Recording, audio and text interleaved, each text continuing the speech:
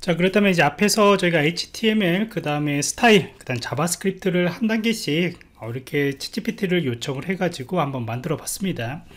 이번 시간에는 이것을 이제 여러분들의 이해를 하셨기 때문에 저희가 한 번에 좀 요청을 하게 될 거예요. 어떤 식으로 이제 요청을 하는지 좀 살펴보도록 할게요.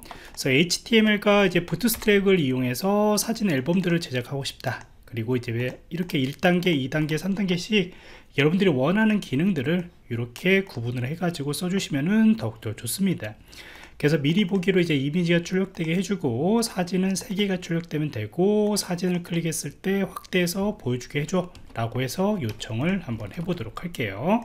물론 여러분들이 요청하는 거하고 저희가 요청하는 거하고는 다른 결과가 나올 수도 있다. 이거는 앞에서도 이야기를 했죠 자 그래서 한번 어떤 식으로 이제 만들었는지 한번 좀 보도록 하겠습니다. 지금 현재 보면은 이제 Bootstrap 그 다음에 관련된 JavaScript가 활용된 것을 볼 수가 있고요.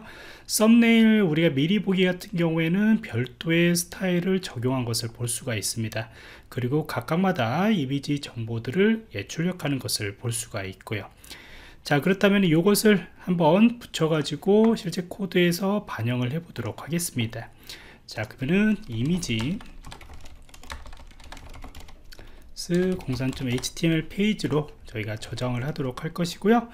그 다음에 지금 현재 이 경로 같은 거는 이제 바꿔 주셔야겠죠? 그래서 images에 그 다음에 01.jpg 라고 해서 이렇게 수정을 하도록 할 것이고요.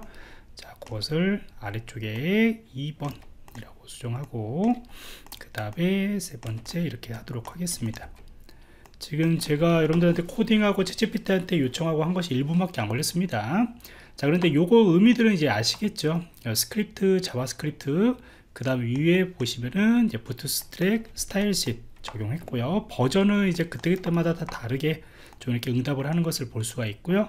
그 다음에 썸네임은 별도로 구성이 됐다 자 그러면 이것을 라이브 서버를 통해 가지고 한번 확인을 해 보도록 하겠습니다. 자 기존 거 혹시나 여러분들이 실습을 안 하신 분들은 음, 앞에 걸 좀 하고 오시면 좋을 것 같아요. 자 그러면 이제 썸네일 형식으로 보면 이제 마우스를 위에 클릭했을 때 이렇게 어, 오는 것을 볼 수가 있고요. 클릭이 아니고 위에 이제 어, 위치하면은 이렇게 보이는 거고 그 다음에 이것을 클릭을 했을 때는 예, 별도 반응이 되지 않는 것을 볼 수가 있습니다. 그러니까 솔직히 제가 요청한 거하고는 좀 다른 걸로 했었죠. 저는 이제 사진을 클릭했을 때 확대해서 보여주는 건데 얘 같은 경우에는 이렇게 마우스가 올라갔을 때 확대되는 형식의 액션들을 예, 구현되는 것을 볼 수가 있습니다. 물론 이것도 나쁘지 않죠.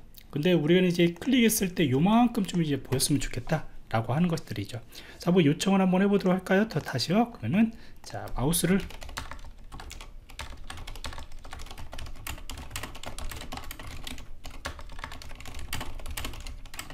마우스를 네.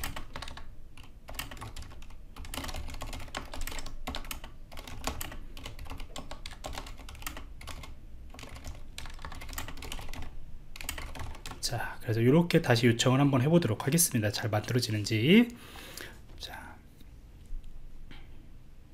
자 그러면 이제 뭐 JavaScript 쪽에서 이제 구현을 해야 한다라고 하는 것들이 이제 나오죠 음, 그러니까 위쪽에 보시면은 이제 Bootstrap에서 사용하는 그런 JavaScript를 가져온 것을 볼 수가 있겠지만은 실제 JavaScript 구현한 것들이 없었거든요. 그래서 저도 사실 이거 구현하기 전에 안 될 것 같다 라고 하는 생각들이 좀 들긴 들었습니다. 자 그러면 이제 이쪽 아래쪽에 보시면은 이제 관련된 어, 것들이 추가가 됐습니다. 자 그러면 이것을 붙여서 또 이 부분은 편집을 해 주셔야겠죠? 자 그래서 한번 진행을 해 보도록 하겠습니다. 위쪽에는 이제 스크립트들이 클릭이 됐을 때 여기에 대해서 이제 쇼 부분을 이제 그 액션들이 들어가는 것을 볼 수가 있고요. 자 그래서 저도 이제 수정을 하고 다시 결과를 보도록 할게요 자 모두 수정을 했습니다. 그러면 기존에 띄었던 결과물들을 다시 한번 좀 보도록 할까요? 자 이렇게 하면은 이제 아, 우리가 현재 원하는 대로 앞쪽에 확대돼서 보이는 형태로 바뀐 것을 볼 수가 있습니다. 채찌PT가 우리가 원하는 형태로 지금 현재 잘 받아들였다는 것이죠.